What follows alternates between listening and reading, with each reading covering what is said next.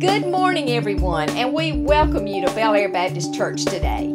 This week and in the weeks to follow, not only do we have our normal church activities, but as Easter approaches, there are many extra events taking place in celebration of our risen Savior.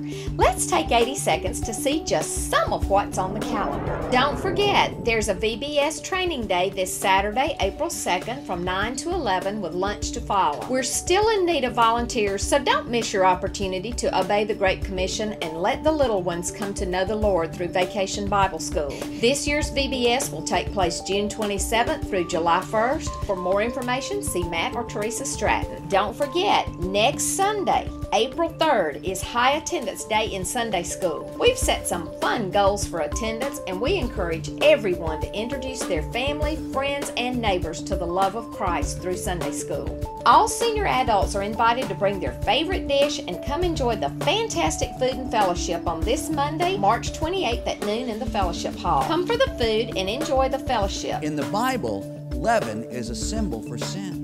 On Wednesday night, April 20th at 6 p.m., a member of Jews for Jesus will give a live presentation recreating the Passover service and explaining how it foreshadowed Jesus' death, burial, and resurrection. Then on Good Friday, April 22nd, to gain empathy for persecuted Christians around the world, Bel-Aire will hold a secret church.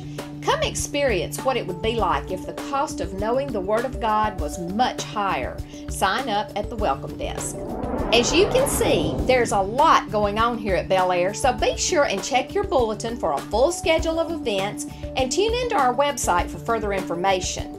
Also, please don't hesitate to ask any of our ushers or greeters if you have any questions or need any assistance. And now let's ready our hearts and minds for a time of praise and worship of our risen Lord and Savior.